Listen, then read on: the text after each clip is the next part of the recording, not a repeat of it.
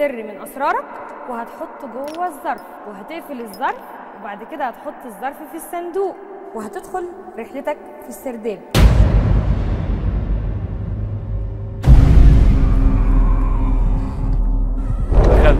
ها قول لي بقى إيه رأيك في المكان؟ اللي أنا شايفه مبدئيا كده ما يعني شكله ظريف. شكله ظريف. آه. إيه طبعا. آه. يا ريت نقف مكاننا. وتسمع التعليمات. انت طبعا دلوقتي معايا في المرحلة الأولى. okay. عندك ثلاث سبايك. المطلوب منك إن أنت تلاقي الثلاث سبايك دول في خمس دقايق بس. خمس دقايق. حاضر. أيوه. آه. على ظهر كل سبيكة رقم. هتقول لي الرقم هقول لك السؤال. بس خلي بالك إن أنا ممكن أعطلك علشان الوقت بتاعك يروح وأكشف سرك. معاك الخمس دقايق من دلوقتي. أدور؟ آه دور. تفتكر أول سبيكة ممكن تكون فين؟ بس أسرع أسرع من كده بكتير. أسرع أسرع أسرع. أسرع من كده. الخمس دقايق بيعدوا. طيب بصي في المراية اللي قدامك. أيوه. مين اللي أنت شايفه قدامك؟ أيوه. شايف مين؟ أنا مش عارفني أنا تهت مني أنا مش أنا أنا شايفني. أنت راضي عن نفسك؟ الحمد لله. الحمد لله. طيب أكتر حاجة ما بتحبهاش في عمرو يوسف إيه هي؟ لا أنا ما, ما يعني لا بحب ولا بكره أنا شكلي ربنا ده كل كل واحد ربنا بيخلقه بشكل معين ولازم يقول عليه الحمد لله رب العالمين. بس عايزه أعرف مواصفات فتاة أحلامك. عايز شكلها عامل إزاي؟ عايز شكلها عامل إزاي عايز آه، عايزه تكون حلوة آه، وعايزه تكون ذكية وعايزه تكون بتحبني وعايزه تكون بتخاف عليا وعايزه تكون بتاخد بالها مني وعايزه تكون بتقدر شغلي وعايز حاجات كتير جدا في فتاه أحلامي اوعي تكوني بتضيعي وقتي عشان ما ألاقيش ال- ممكن ده. طبعا مم.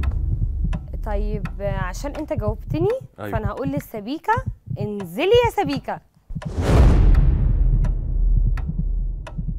خد أول سبيكة طيب. وقول لي الرقم.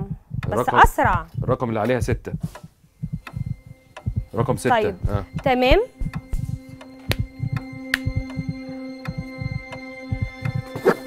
أسرع من كده.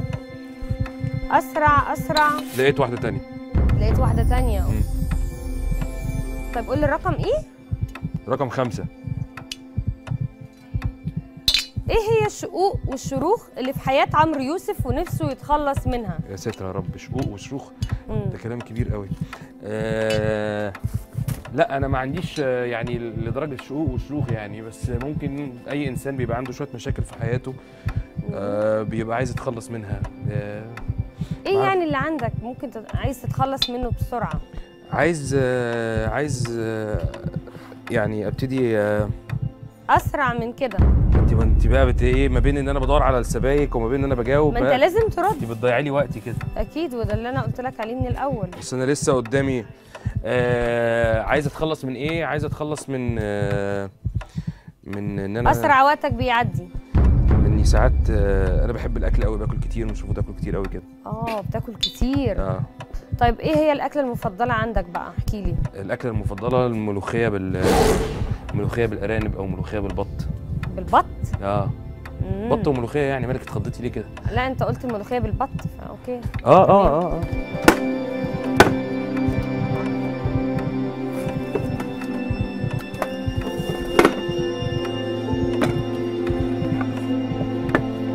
أسرع بسرعة بسرعة. اهي الرقم؟ الرقم آه سبعة. طيب انت شاركت في الثورة المصرية؟ شاركت في الثورة المصرية؟ طبعا شاركت في الثورة المصرية. آه طيب تفتكر آه، الكراكيب اللي كانت موجودة قبل الثورة ما زالت موجودة بعد الثورة ولا الثورة غيرت حاجات كتير؟ لا هو هو هو يعني اللي حصل إن كلنا اعتقدنا إن الثورة نجحت ووصلنا خلاص للنهاية. آه بس لا طبعا الثورة لم تكتمل. طيب انت شايف إن الثورة هتكتمل إمتى؟ معرفش. الله أعلم. واللي يقدر يقول لك آه إنه عارف إيه اللي هيحصل بكرة يبقى بيفتي. محدش عارف إيه اللي هيحصل بكرة. أنا عايزة أقول لك إن أنت كسبت في المرحلة الأولى. كويس. ولقيت السبايك في الوقت المطلوب منك. أيوه. وهطلب منك إن أنت تحط السبايك من إيدك في أي مكان. عمرو أنت بعد كده هتدخل معايا للمرحلة الثانية اللي هي تعتبر أصعب من المرحلة الأولى. أوكي. جاهز؟ جاهز.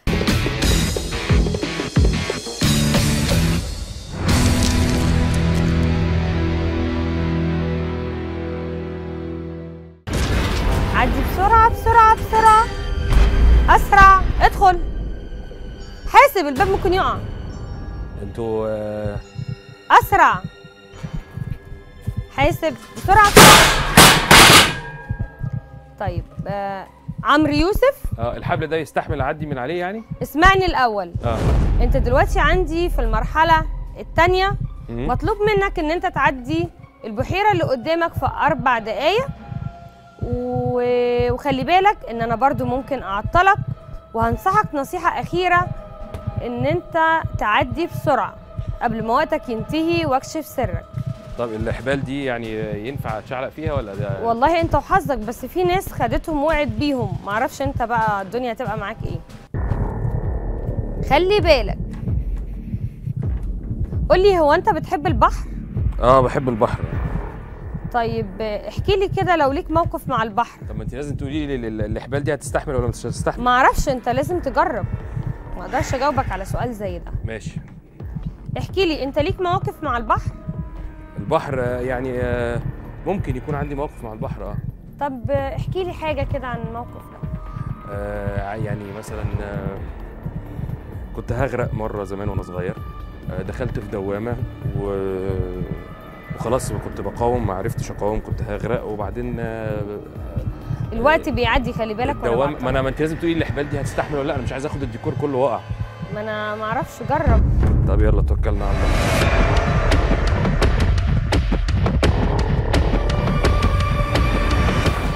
خلاص؟ آه. اقف عندك بقى وجاوبني. كمل. آه، ولا حاجة. آه، إيه اللي في ال- إيه اللي في سيب ده بس سيب بس. الازاز ده؟ لا الأول كمل كمل. آه، كنت هغرق وطلعت من ال- من الموقف. في حد أنقذك يعني؟ لا لا لا الدوامة خدتني وراحت رمياني كده بره. يعني فضلت آه. واقع فيها شوية بعدين طيب آه، عمرو آه. ممكن تطلع قدام شوية؟ أطلع قدام شوية حاضر. قولي الأول أنت بتحب الحشرات ولا بتخاف منها؟ لا أنا بعشق حاجة اسمها حشرات. يعني بتعشق؟ آه طبعا. حشرات بالنسبة لي حاجة جميلة جدا. آه ده بيعشق الحشرات. مم. طيب آه، شفت ال- الفار الجميل اللي قدامك ده؟ آه. في ورقة فيها سؤال ضايع مني. موجود في الورقة اللي قدامك دي مطلوب منك تجيب الورقة وتقول لي السؤال.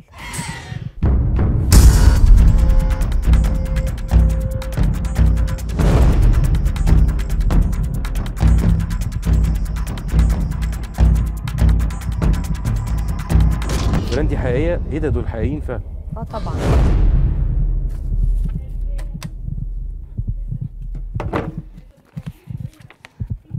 في فيران في حياة عمرو يوسف.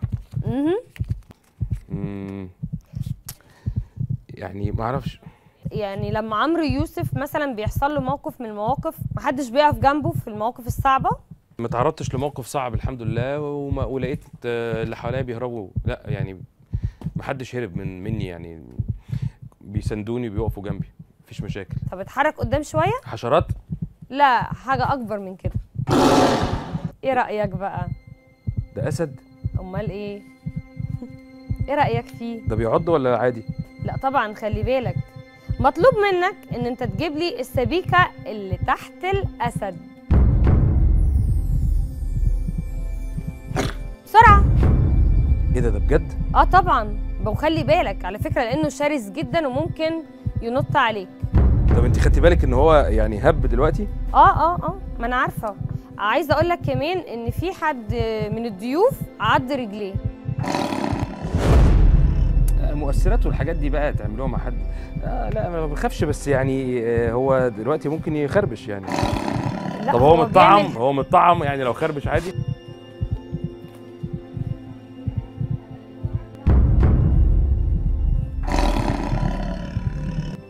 يلا جيب السبيكة بسرعة. أسرع يا عمرو.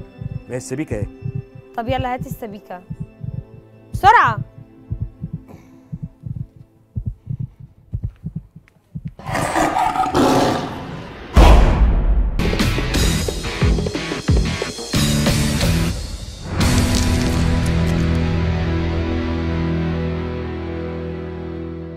لو سألتك عن البرج بتاعك أنا- هتقول البرج إيه؟ أنا تقريبا هو ده. آه، الصورة مش واضحة قوي بس تقريبا الجدي. برج الجدي؟ أنا الجدي آه. آه طيب تقول لي صفاتك؟ صفات الجدي؟ أنا مع بيني وبينك أنا ماليش في الأبراج قوي يعني مش مش شاطر فيهم بس آه، بيقولوا إنه الجدي ده بيبقى عايز آه، يحقق أهدافه ويبقى ناجح بيحب شغله لما بيحب بيحب بجد ما بيبقاش أي كلام يعني. طيب آه هقول لك شوية صفات وتقول لي الصفات دي موجودة في عمرو يوسف ولا لأ. أوكي. آه الغموض. ممكن. آه الحقد. لا استغفر الله العظيم يا رب لأ مفيش الكلام ده خالص. التشاؤم. لأ. الغرور. أعوذ بالله. الكذب. عمري. مش مثالي على فكرة لحسن. تتخيلي ان أنا بقول لك ان أنا مثالي بس يعني أكيد كدبت زمان كدبة بيضة لكن الكذب مش صفة من صفاتي ابدا ما بحبوش يعني. الرومانسية. آه مش دايما. يعني ببقى رومانسي لما بحب لكن مش عمال على بطال أنا ماشي رومانسي على نفسي يعني. طيب آه انت ممكن في يوم من الأيام لما تيجي تختار آه، فتاة أحلامك من نفس البرج بتاعك ولا مش هيفرق معاك بقى إنها تكون من أي برج تاني؟ لا ما يفرقش معايا هي برجها إيه. طيب ممكن تطلع قدام شوية؟ هنا؟ أيوه. أنت زي ما أنت شايف قدامك ثلاث صناديق مظبوط. بمراحل عمرية مختلفة. قبل أي حاجة عايز أسأل عمرو يوسف إيه المرحلة اللي بيحبها في الثلاث صناديق؟ شيخوخه الشيخوخة؟ مم. طيب تفتكر الشيخوخة بتاعتك هتكون عاملة إزاي؟ متهيألي هتبقى هادية. يعني أنا عايزها تبقى هادية. مم. هتفكر في الوقت ده إن أنت تعتزل الفن؟ متهيألي ال- اللي بيحب الشغلانة الشغلانة دي بالتحديد يعني ما بيقدرش يعتزل منها خالص إلا غصب عنه. يعني مش مم. بمزاجه. يعني ما, ما ينفعش أعتزل بمزاجي. يعني أخد قرار كده فجأة إن أنا عايز أعتزل الشغلانة دي. ما يعني أتمنى إن أنا أقدر أكون جوه ال- الشغلانة اللي أنا بشتغلها دي لغاية آخر يوم في عمري يعني.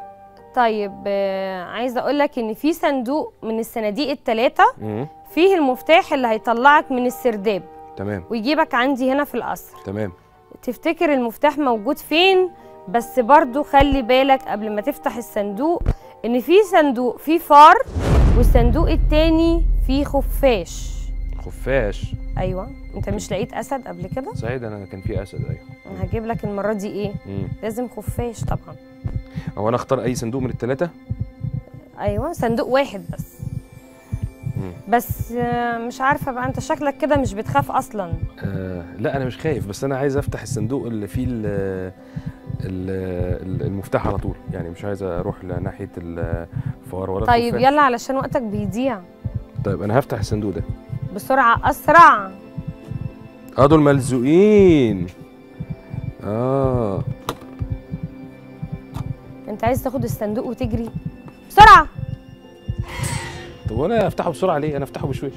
طب بشويش.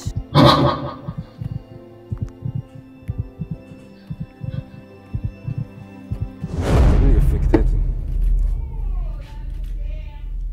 طيب آه، انت دلوقتي لقيت المفتاح اللي هيطلعك من السرداب آه. وأنا اهنيك بجد على حظك. آه، آه، افتح واخش على طول؟ أيوه. أوكي. استني بقى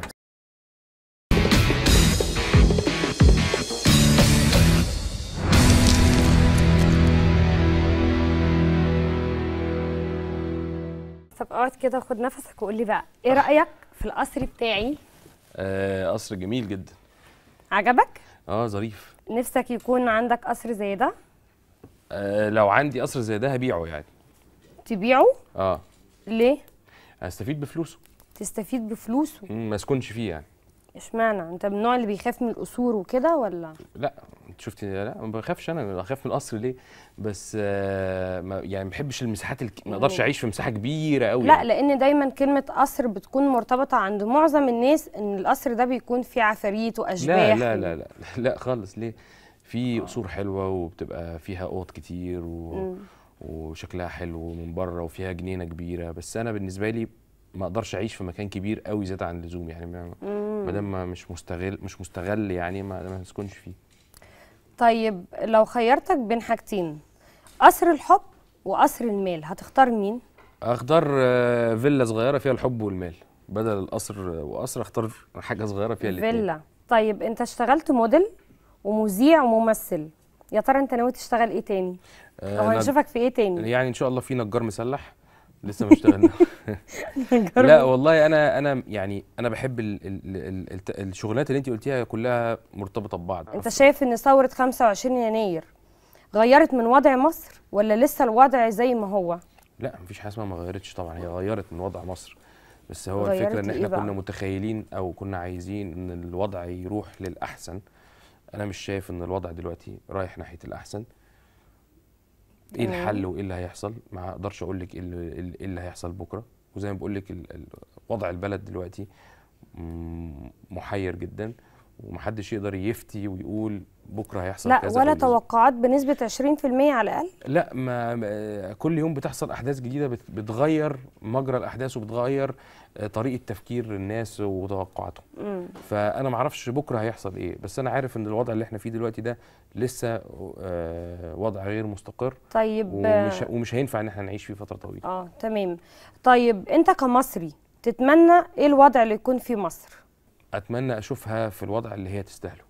مصر تقدر تكون واحدة من أهم دول العالم بسهولة مش الموضوع مش صعب خالص يعني. الموارد اللي عندنا في مصر وال وال وال- والجو الجو جو مصر والسياحة اللي عندنا وأماكن السياحة اللي عندنا وال- ال- والموارد البشرية وال والآثار اللي عندنا و- ويعني يعني عندنا عندنا كل حاجة تقدر تخلي البلد دي أحسن من ما كانتش أحسن بلد في العالم واحدة من أحسن الدول في العالم. للأسف الشديد أنت كسبت معايا النهاردة وليك مطلق الحرية إن أنت تكشف السر أو تخفيه. بس الجمهور اللي بيحبك نفسه يعرف السر. هتقول إيه؟ أنت بتحرجيني يعني؟ طب ما أنا كسبت المفروض ما أقولش أيوة. السر اللي أنا كتبته. آه لا أنا ما يعني آه ممكن أقول السر مش مشكلة. يلا. يلا. السر ترى السر إيه